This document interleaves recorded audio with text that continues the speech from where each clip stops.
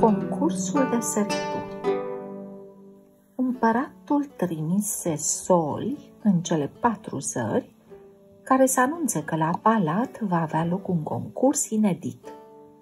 Concurenții se vor întrece în sărituri, arătând cine poate să sară mai sus.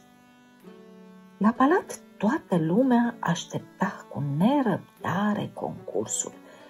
Doamnele de la curte și cavalerii erau toți prezenți, precum și prinți și prințese, conți, baroni și doamnele de companie, veniți din toate colțurile lumii, iar împăratul dori să recompenseze cu un mare premiu câștigătorul, așa că îi promise mâna fiicelui celui care va câștiga.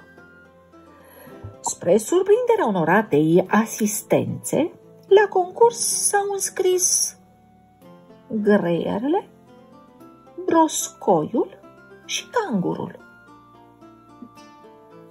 Niciun prinț, nobil sau cavaler.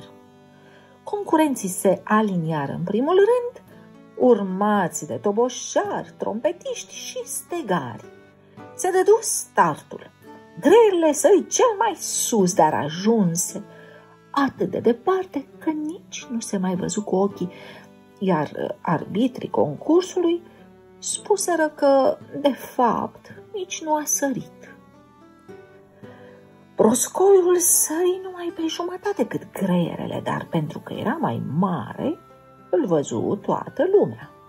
Dar spre ghinionul lui ateriză pe capul împăratului, așa că pentru asta îl eliminară din concurs. Cangurul sări numai odată, puțin, dar fiind șmecher, căzu în brațele prințesei, așa că el primi premiul. Toată lumea de la curte rămase fără grai. Dar prințesa curajoasă spuse, Dacă așa mi-a fost sortit, primesc cu bucurie. În clipa următoare, toți cei prezenți văzură cum cangurul se preschimbă într-un tânăr cavaler. La fel se întâmplă și cu greierele și broscoi. A fost un test pentru prințesă, care a dovedit că are suflet bun, nu doar că este frumoasă, spuse tânărul câștigător.